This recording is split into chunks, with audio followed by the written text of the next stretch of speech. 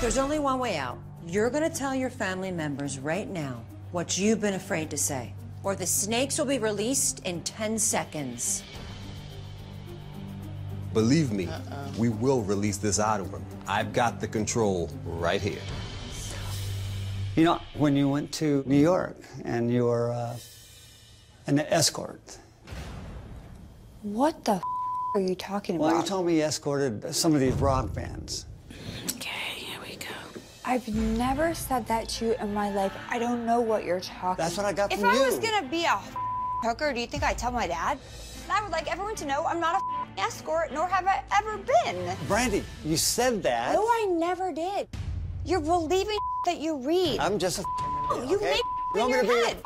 puppet? I'll be your puppet. I don't want you to be my puppet. I want you to be my father. Well, I want you to be my damn daughter.